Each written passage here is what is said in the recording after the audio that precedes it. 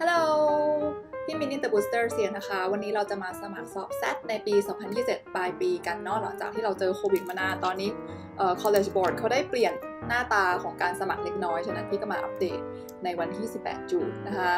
อะ เรามาดูกันเลย วิธีแรกนะคะ อย่าลืมว่าก็คือเราต้องเตรียมบัตรประชาชนกับบัตรเครดิตก่อน จะไม่ใช่บัตรประชาชนก็ได้ใช้เป็นพาสปอร์ตก็ได้นะคะ เดี๋ยวข้อมูลตรงนี้จะต้องใช้ อะ แล้วก็เข้าไปที่ www college board. org เนาะอันนี้จะเริ่มต้นกันเลยก็คือ ใครที่ยังไม่เคยสมัครหรือ sign up มาก่อน เราก็จะไม่มี username แต่ถ้าใครเคยทำแล้วก็จะง่ายนะคะ น้องก็กรอก username password password ไปได้เลย แต่สำหรับพี่พี่จะเริ่มต้นใหม่เลยแล้วกันเนาะไปที่ sign up นะลูก แล้วก็กด ฉันเป็นนักเรียน I'm a student อ่าแล้วก็กดตรงนี้เลยนะคะ กรอก อย่าลืมว่าชื่อเนี่ยจะต้อง match กัน 100%นะคะ100%ต้อง match กับไอตัวหลักฐานที่เราจะไปยืนยัน ไม่ว่าน้องจะเอาพาสปอร์ตหรือว่าเอาบัตรประชาชนไปเนี่ยต้อง match ทุกตัวนะคะแม้แต่ตัวเดียวก็อย่าผิดนะลูก อันนี้เนื่องจากพี่เคยสมัครแล้วนะคะ พี่ขอใช้ชื่อปลอมไปก่อนกัน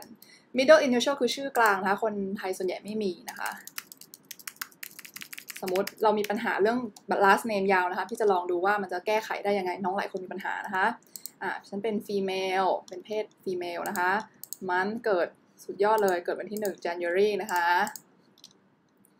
อะเกิดปี 2005แล้วกันเด็กมากอีเมลตรงนี้ก็เอ่อ make sure you use an email that you'll have an access to ก็คือแปลว่าเราต้องเข้าถึงได้นะคะ ไม่ใช่ใช้อีเมลอะไรก็ตาม ที่แบบของคุณแม่แล้วลืมรหัสไปแล้วอะไรเงี้ยนะคะอะของพี่ใช้เป็นอันนี้ละกันไม่ค่อยได้ใช้ confirm ก็ แปะลงไปเลยได้นะคะ high school graduation ก็คือแปลว่าเขาคาดเราอะคาดว่าเราจะจบ high school หรือว่าม6ตอนปีไหนเดือนไหนนะคะ ตรงนี้ก็ไม่ต้องซีเรียสมากนะน้อง น้องก็กรอกคร่าวๆไปค่ะ น่าจะประมาณเดือนนี้เพราะเขาไม่ได้ใส่ใจมากนะลูกกรอกผิดก็ยังสอบได้นะคะ อ่าฉะนั้นพี่ขอพี่ตั้งไปว่าพี่จะจบ high school ใน March เดือนปีนี้นะคะ zip หรือ zip code ก็รหัสไปรษณีย์อะพี่ก็กรอกของพี่ไป แล้วก็ติ๊กไปด้วยว่า ฉันอยู่เมืองไทยฉะนั้นเป็น outside the US อะแล้วเขาก็ถามแล้วว่า where do you go to school เราไปโรงเรียนที่ไหน ถ้าน้องคนไหนที่ไม่ได้อยู่โรงเรียนอินเตอร์ลูก ก็ให้กดว่า my school is not listed นะคะ หรือว่าถ้าใครที่แก่แล้วหรือซิ่วแล้วแบบพี่เนี่ยพี่แก่แล้วเนาะพี่ก็จะติ๊กตรงนี้เหมือนกันเพราะว่า I'm no longer in high school right แล้วก็หรือถ้าน้องนั่นก็น้องก็จะกรอกไปได้ว่าน้องอยู่ international school ไหนก็ว่าไป อะ พี่ขอติ๊กอันนี้เนาะ oops โอเค แล้วก็ ตรงนี้ก็จะเป็นการตั้ง username and password ซึ่งจำได้ว่ามันจะต้องมีแบบเนี่ย มันมีข้อจำกัดเยอะอะเออ ต้องมีทั้ง letter คือตัวอักษร แล้วก็ต้องมีตัวเลขด้วย ฉะนั้นพี่ขอตั้งไปเลย boost boost ฮ่าฮ่าฮ่าได้ไหม ลองดูแล้วกันนะ เผื่อไม่ได้ password ขอ ลองตั้งอันเดียวกัน ต้องมี upper case ด้วยอะฉันมีนะคะ one lower case one number and special character oh my gosh อะใส่อันนี้ของพี่ special character ก็จะเป็นแบบดอกจันอะไรเนี้ยคะแล้วน้องก็กรุณาจดไว้เลยนะคะ จดไว้ในกระดาษแยกไปเลย หรือว่าเป็นชีตแยกไปเลย เพราะไม่งั้นถ้าจำไม่ได้เลยก็จะดวดเดือดร้อนกันอีก อะโอเคของพี่เป็นตามนี้ confirm password copy ได้ไหมขี้เกียจได้ด้วยเว้ยเฮ้ย อ้าว ไม่ match มันจะไม่แมทได้ยังไงแสดงว่าก๊อปไม่ได้ โอเค งั้นพิมพ์ใหม่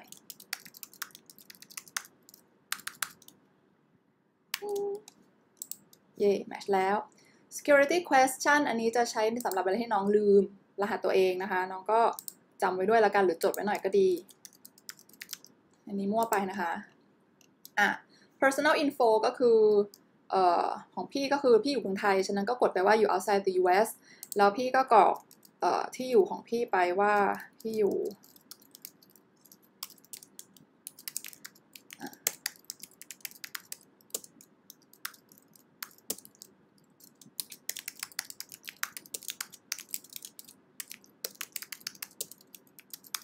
โอเคถ้าใครที่อยู่ยาวก็มาต่อ address line 2 ได้นะคะ ซึ่งถ้าในระบบเก่ามันจะมีปัญหาว่า เอ่อถ้าใครที่ address ยาวมากๆ มันจะทำให้เหมือนแบบกดไม่ไปนะคะ จะ error error error ไปเรื่อยๆ ฉะนั้นก็กรุณาย้ายบรรทัดให้มาอยู่ address line 2 บ้างก็ได้นะคะ เพราะตอนนี้พี่ไม่ได้ district อะสมมติอ๋อนี่ไงเริ่มติดแล้ว อ๋อ นี่เขาให้มันมีปัญหาเรียบร้อยแล้วคือ พื้นที่ไม่พอนะคะ ฉะนั้นก็มาต่อ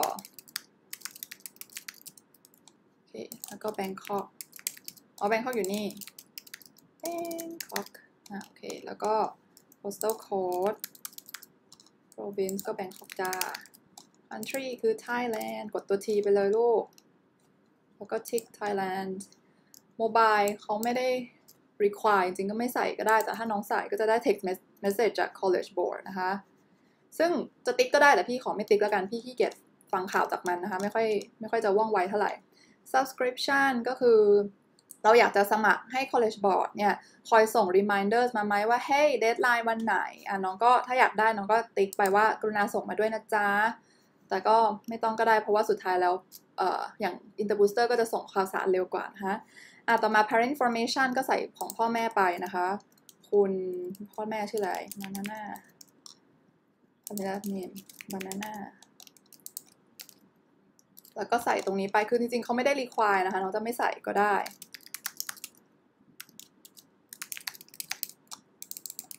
ผื่อคุณพ่อคุณแม่คนไหนอยากได้อีเมลด้วยนะคะก็ขาให้ติ๊กว่า RCC ส่งไปด้วย หรือว่าอยากได้ parent newsletter ก็ส่งไปพี่ขี้เกียจค่ะ แล้วก็อย่าลืมติ๊กตรงนี้ต้องติ๊กเสมอนะคะ มันถึงจะให้กดกดปุ่ม next ในลองดูดูซิว่าผ่านไหมอ่าไม่ผ่านนะคะ ไม่เป็นไร submission error เขาบอกว่า your password cannot contain your username อันนี้คือขี้โกงขี้เกียจนะคะก็แปลว่าต้องเปลี่ยน password เขาต้องการให้มันปลอดภัยมากๆนะคะ ฉะนั้นพี่ขอตั้งใหม่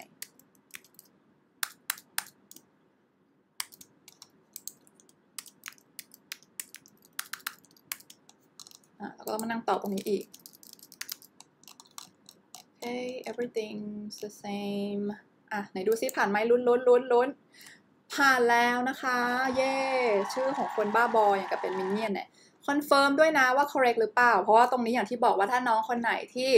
ชื่อไม่ตรงกับหลักฐานที่เอาไปวันสอบ น้องจะต้องโทรศัพท์ไปหา college board ที่อเมริกาค่าค่าโทรก็แพงเนาะแล้วก็เห็นไหมต้องโทรตอนกลางคืนต่างหากสุดท้ายก็จะลำบากพี่นี่เองโทรให้น้องนะคะ ฉะนั้นเช็คด้วยว่าสะกดถูกทุกตัวหรือเปล่า จะได้ไม่ต้องลำบากแก้นะลูกอ่า last name ถูกต้องฉันเป็น female และ date of birth ถูกต้องนะคะ คือเขาแค่ต้องการเอ่อ make sure ว่าเราไม่ได้เป็นคนปลอมไปสอบนะคะ หรือว่าโกงสอบอะ confirm สร้างได้แล้ว เย้ สร็จแล้วโหลดโหลดไปไหนดูซิ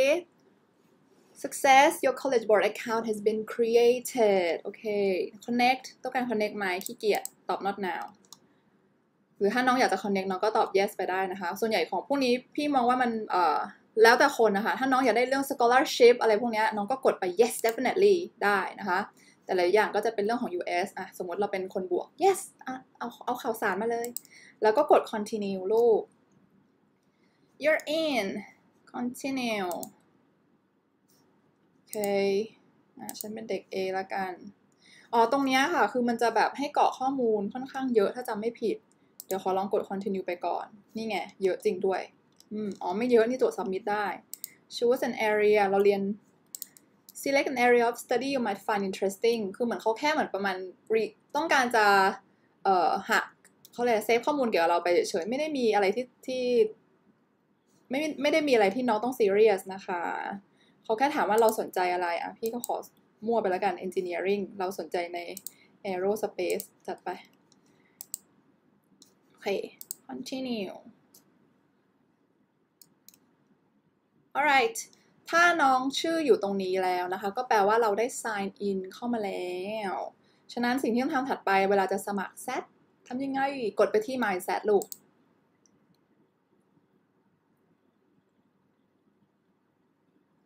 พี่แนะนำถ้าใครที่แบบว่าใช้ Account ที่มันสามารถ save password ได้อะค่ะ ก็กรุณาเซฟไปเถอะถ้ามันเป็นคอมบ้านเราเองเนาะ เพราะว่าเกิดปัญหาเยอะมากคือคนลืม password ตัวเองนะคะ แล้วก็ต้องมานั่งวุ่นวายกัน อะเขาก็ให้กรอกตรงนี้อีกที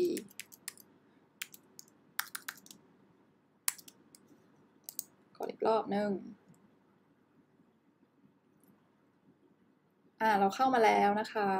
เขาก็บอกว่าเนี่ย เปิดรับสมัครแล้วเห็นไหมคะ ตั้งแต่ปี 2020ถึง2022 เนาะ ก็ไม่มีอะไรกด register for the SAT เลย โอเค ได้ข่าวจากเด็กๆว่ารู้สึกจะแฮงกันระรัวนะคะ ช่วงเวลาณตอนนี้ แต่ท่านราตอนที่น้องสอบจะไม่แฮงหรือเปล่าไม่รู้ กด get started ค่ะ แล้วเขาก็จะให้เราดูว่าเนี่ย ชื่อพวกนี้ถูกต้องหรือเปล่า ไหนเขาลองดูสมัยก่อนมัน edit ไม่ได้ ตอนนี้มัน edit ได้เหรอ อ๋อ มัน edit ได้แค่ gender นะคะ แต่ไม่สามารถ edit name ได้เห็นไหมลูก เออ ก็คือ name นี่ต้องอาจจะต้องโทรไปนะลูก ถ้าใครเขียนผิดนะคะ school information อะ ลองเขียน no results ไปก่อนละกัน อันนี้เราก็คอนเฟิร์มไปว่าโอเคคือว่าเหมือนใครที่สอบหลาย ๆ ปีหลาย ๆ รอบเหมือนเขาก็ต้องการให้น้องอัปเดตเฉย ๆ แต่ของพี่เพิ่งสมัครไปตะกี้มันก็ต้องยังถูกอยู่แล้วนะคะ ตอนนี้สมมติว่าพี่อยู่ 12th grade นะคะ แล้วก็อีเมลถูกต้องนะจ๊ะ อ๋อ ตรงนี้เดี๋ยวนี้มันสามารถ edit ได้เลยจากจากแต่ก่อนที่ไม่สามารถทำได้เนาะโอเค address เหมือนเดิมนะคะ แล้วก็ถ้าน้องอยากได้ text message จาก college board น้องก็ติ๊กไปได้แต่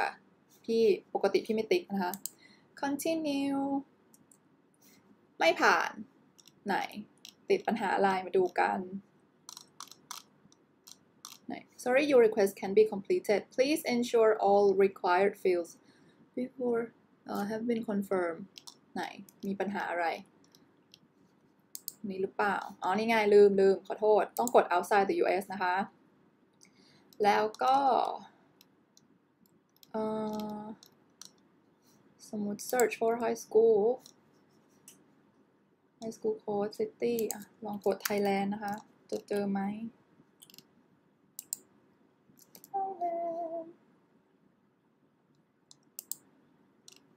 high school name ถ้าเราไม่มี high school อยู่ในนี้ ซึ่งก็คือไม่ใช่โรงเรียนอินเตอร์ก็ตอบ can't find your high school แล้วก็เขียนไปว่า my high school is not listed หรือถ้าน้อง home school น้องก็ติ๊กช่องล่างลูกอะขอพี่ติ๊กติ๊กอันนี้นะคะ แล้วมันก็เด้งให้พี่เชียว โอเค ถูกต้อง ถูกต้อง ถูกต้อง กดได้ยัง continue ได้ยัง ได้แล้วนะคะ ผ่านไปอีกหนึ่งหน้าด้วยความเหน็ดเหนื่อยเฮ้อใจร่มๆนะคะ ยาวนาน สมัครสอบยากก็สอบนะคะ เรื่องตรงนี้เขาก็ทำทำไปก่อนลูกก็คือเหมือนบอกว่าเราจะ I do not wish to respond ก็ได้ แต่ก็คือเราไม่ใช่คน Hispanic นะคะ พี่ขี้เกียจตอบหรือจะตอบก็ได้ Asian โอเค Tell us a bit about your parents สามารถ save and exit ได้ไหม ไม่ได้นะคะ ต้องต้องต้องติ๊กไปตามที่เขาขึ้นตัวแดงไว้ให้เนาะ โอเค พ่อแม่จบอะไร language อะไร another language นะคะ what language do you, do you know best ก็คือภาษาไทยฉะนั้นก็ตอบ another language เย่แล้วก็กด save and exit เพราะว่าเราขี้เกียจกรอกที่เหลือนะคะ ไม่งั้นมันจะต้องเข้ากระบวนการยาวนานมากๆ ซึ่งเดี๋ยวจริงๆ มันมาทำทีหลังได้ ขอกด save and exit เนาะ select date อ่า ในที่สุดก็เข้าเรื่องแล้วค่ะลูกเอ่อในเมื่อเราสคริปตรงนั้นมานะคะ เราก็กด get started แล้วเขาก็ต้องการให้เราอ่าน terms นะคะ ซึ่ง terms มันก็ไม่มีอะไรมากเนาะจะไปอ่านละเอียดเอาเองก็ได้ถ้าน้องกลัว แต่ว่าสุดท้ายก็แค่บอกว่ารูปมันต้องเป็นอย่างนี้นะบลาบลานะคะ limit ต้องเป็นยังไง ขี้เกียจอ่านนะคะ อ่านมานานแล้ว ก็ให้ scroll ถึงด้านล่าง แล้วก็ตอบว่าโอเค I agree ถ้าน้องไม่ scroll นะคะ มันจะไม่ขึ้นปุ่มให้น้องติ๊กนะลูก อันนี้คือน้องสามารถ print term ตรงนี้ออกมาอ่านเองก็ได้ สมมติอยากให้พ่อแม่อ่าน แต่พี่ขี้เกียจ กด agree แล้ว continue ไปเลยค่ะ โอเคเราจะสอบที่ไหนลูก ถ้าน้องอยู่ US น้องก็ติ๊กไปที่ US นะคะ แล้วก็ของเราถ้าจะเป็นที่ Thailand เราก็ตอบ outside the US เนาะ แล้วก็กด next ด้วยนะจ๊ะ อ่า เรามาที่ test date แล้วนะคะ ก็คือสมมติน้องอยากจะลง คือจริงมันสามารถลงได้หลายรอบ คือน้องลงไปทีละรอบลูกไม่ใช่กดรัวๆอะ สมมติเราจะลงเนี่ย August 28 ก่อน แล้วเดี๋ยวพอเสร็จอันนี้ปุ๊บ เราก็ค่อยมาลง October ทีหลัง อะไรเงี้ยพี่แนะนำว่าลงกี่รอบดีนะคะ เนื่องจากช่วงนี้โควิด ลงหลาย ๆ รอบไปเลยนะคะ ถ้าการเงินไม่ได้มีปัญหา หรือว่า เพราะน้องต้องคิดตรงนี้ด้วยว่าสมมติน้องลงเอ่อสองรอบ August กับ October แล้วโควิดมันทำให้แคนเซิลไปสองรอบ แล้วน้องก็ไม่เหลือรอบสอบอะไรแล้ว ที่นะที่อื่นก็เต็มนะคะ ฉะนั้นยิ่งสอบเยอะยิ่งปลอดภัยนะลูก โดยเฉพาะคนที่อยู่ม .6 แล้วนะคะ ถ้าม .5 อาจจะเพาๆได้บ้างนะลูก ถ้าม .5 อาจจะเว้นว่างระหว่าง ไปอะไป October ไหมมีเวลาเตรียมตัวหน่อยนึง แล้วก็อาจจะแบบสักอีกสักรอบอะ March เอาให้มันห่างกันหน่อยอะไรเงี้ยค่ะ ถ้าถ้าอยู่ม .5 ก็จะชิลหน่อยม .4 ก็จะชิลหน่อยเนาะเขาก็จะบอกราคามา 55 เหรียญแต่จริงๆราคานี้ไม่ใช่ราคาที่แท้จริงนะคะมีบวกอีกนะคะแล้วก็กด next เดี๋ยวจะบอกอะไรอย่างหนึ่งก่อนเนาะสำหรับคนที่เคยเข้ามาเเลือก test date แล้ว แล้วก็เหมือนไปถึงหน้านู้นหน้านี้แล้ว แต่ว่าเราปิดไปก่อนเหมือนแบบยังไม่แน่ใจ ถ้าเรากลับมาที่หน้านี้อีกบางทีรอบตรงนี้มันจะหายไป สมมติน้องเคยสมัครเอ่อออกัสกับออกโทเบอร์ไว้ แต่ว่าปิดไปก่อน มันจะไม่ขึ้น ฉะนั้นน้องต้องแก้โดยการไปที่หน้าแรกเลยนะคะคือไม่ต้องมาเลือกตรงนี้แล้ว ไปที่หน้าแรกเลย ตอนที่เราเอ่อ sign ตอนที่เอาล็อกอินเข้ามาค่ะแล้วให้น้องเลื่อนไปข้างล่างแล้วลูกมันจะมีที่เขียนว่าแบบ finish registration ก็แปลว่าสมัครให้เสร็จนั่นเองนะคะ ใครที่ตัวช่องตัวนี้หายไปไม่ต้องตกใจ อะพูดซะยาวกด next ลูก แล้วก็เราต้องการจะ search for test center ก็เราต้องการสอบใน Thailand นะคะ ก็กด find a test center ครับเขาก็จะเลือกให้เลยเนี่ยอะมีมีให้เลือกมากมายว่าที่ไหนยังเหลือที่บ้างอะนี่เต็มไปแล้วมีหลายหน้าด้วยนะลูกดูดีๆ เอาที่มันใกล้ๆบ้าน หรือว่าเอาที่เขาเอ่อเอาที่คนว่ากันว่าที่สอบมันแบบ ดีอะเออ มันจะมีปัจจัยเรื่องของสถานที่สอบด้วยอีกนิดนึง ถ้าใครที่ไม่รู้ก็อาจจะต้องถามรุ่นพี่หรือว่าจริงๆเอ่อคลิปใครที่เป็นเอ่อนักเรียนของ Interbooster ยิงมาเลย เพราะว่าเราก็มีเด็กๆ หลายๆ คนที่ไปสอบมาหลายๆที่นะคะ แต่ของพวกนี้ก็เป็นปัจจัยเล็กๆ น้อยๆ ที่อาจจะกระทบใครบางคนมาก และกระทบใครบางคนน้อยนะคะโอ้ Shrewsbury เต็มแล้วเหรอเนี่ยแม่ ก็เลือกที่ใกล้ๆบ้านอะ พี่ว่าไม่มีอะไรมากนะคะสำหรับพี่พี่ขอเลือกอันนี้ละกันเย้โอเค เลือกเสร็จแล้วนะคะ แล้วก็กด continue แล้วเขาก็จะให้เรา confirm ค่ะ ว่า โอเค เลือกถูกนะจ๊ะ วันที่ดีนะ เลือกถูก แล้วเขาก็บอกว่าเรามีเวลา 20 นาทีในการทำ20 นาทีมันเหลือแหละลูกเอ๋ย กด continue ค่ะ แล้วมันโหลด you've confirmed your test detail ยังไม่เสร็จนะลูก ไปอัปโหลดโฟโต้ก่อนอะ continue to photo upload ซึ่งตรงนี้จริงไม่ต้องซีเรียสมาก มันก็เขาจะมีบอกไว้เฉยๆว่าเหมือนแบบหน้าคุณต้องเป็นหน้าคนไม่ใช่หน้าหมา มันมีบอกจริงนะ ตลกมากเลยเนี่ย ให้น้องไปอ่าน photo requirement ก็ได้ใครที่ไม่ชัวร์ แต่พี่ว่าเขาค่อนข้างไม่ได้ strict อะไรขนาดนั้น แค่หน้าเห็นชัดอะลูก เนี่ยเขาบอกว่ารูปพวกนี้คือหน้าคนปกติ อย่าสว่าง อย่ามืดเกิน อย่า อย่าเป็นแบบนี้ อย่าใกล้เกินด้วยนะตลกเลยอย่าปิดหน้า โอเคไหม three quarter view อย่าเป็นหมา นี่ไง น่ารักมาก อย่ามีคนอื่นตลกแล้ว อะโอเคเรื่องพวกนี้ขำขันเฉยๆนะคะ เราก็กลับมาที่เดิมแล้วเราก็ อะลองกด get started continue โอ เค continue ครับผมเข้าใจแล้วครับ ต้องโฟกัสห้ามปิดหน้านะครับ ต้องเป็นหน้าคนปกตินะครับห้าเป็นหน้าหมานะครับห้ามแลบลิ้นนะครับอะแล้วก็กดอัปโหลดไปโหลดโฟโต้ซึ่งพี่ไม่ได้เตรียมไว้อะแย่จัง เอาอะไรดี จริงๆ มันสามารถมาเปลี่ยนทีหลังได้นะลูกไม่ต้องซีเรียสอะสมมติพี่ขอรูปอะไรก็ไม่ได้ ไม่รู้เขาจะให้ผ่านหรือเปล่านะ แต่ขอลองลงมั่วไปก่อน เขาสามารถให้เราปรับเปลี่ยนได้ด้วยนะ สุดยอดมาก อะโอเค continue เขาก็ให้เราติ๊กว่าคุณมั่นใจแล้วนะ ว่ารูปนี้ถูกต้องแต่รูปนี้โคตรไม่ถูกต้องเลยนะ พี่ขออภัย ไม่ได้เตรียมเอาไว้ อะก็เป็นรูปหน้าตรงธรรมดาน้องก็ถ่ายจากมือถือเลยลูกแล้วก็เนี่ยใช้ได้เลยแค่ถ่ายจากมือถือก็ได้นะลูก ไม่ต้องเป็นรูปแบบแบ็กกราวขาวแบบของไทยอะกด submit this photo เขาก็บอกว่าเดี๋ยวรูปนี้มันจะขึ้นในในเอ่อใบที่เราต้อง ที่เราต้องเอาไปสอบ โอเคไหมอะกด continue โอเคเขาบอกว่าคุณอัปโหลดโฟโต้เรียบร้อยแล้ว วงเล็บโฟโต้โคตรผิดเลย now get ready to review ก็ไปที่ check out นะคะ นี่คือกว่ามันจะเสร็จคือมันต้องจ่ายตังก่อนลูกเอ๋ยเอ่อ answer service อ่ามีคนถามเยอะมากว่าเราควรจะเอา answer service ดีไหม ถ้าเอาน้องก็จะต้องเสีย 16 เหรียญนะคะ หรือว่าถ้าน้องมีฟรี waiver ฟรี waiver มันน่าจะเป็นเหมือนแบบการไม่ต้องจ่ายเงิน แต่ว่ารู้สึกว่าจะเป็นของ US only ของไทยไม่น่ามีอะมีใครมีฟรี waiver ไหมพี่ไม่เคยเห็น ก็ถามว่าพี่เอาไหมคือถ้าเอาอะมันจะได้ได้เขาจะส่งมาให้ว่าเหมือนแบบเราตอบข้อไหนถูกข้อไหนผิดอ่าแต่ว่าข้อสอบอะอาจจะไม่ได้มาด้วยทุกครั้งนะคะ รู้สึกว่าถ้าจะถ้ายังจำถ้ามันยังไม่เปลี่ยนแปลงนะมันจะได้ข้อสอบมาด้วยตอนเดือนเมษแต่เดี๋ยวนี้ข้อสอบมันโผล่มาทุก ทุกเดือนอยู่แล้ว ฉะนั้นพี่มองว่า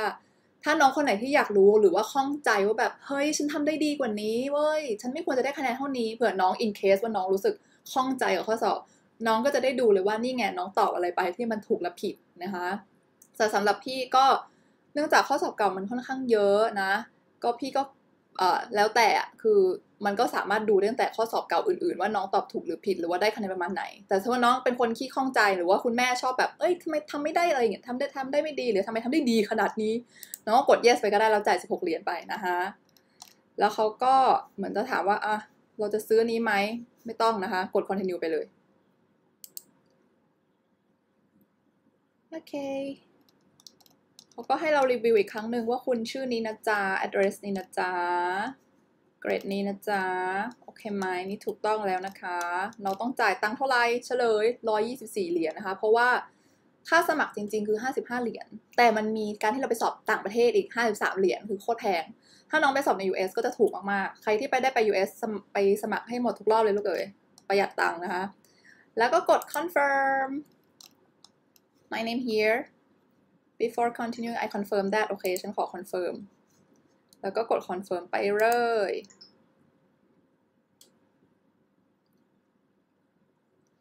แล้วเขาจะพาเราไปจ่ายตังค์เนาะ ก็เนี่ย น้องจะจ่ายด้วย PayPal หรือว่าจ่ายด้วยพวกบัตร Visa Mastercard อะไรพวกนี้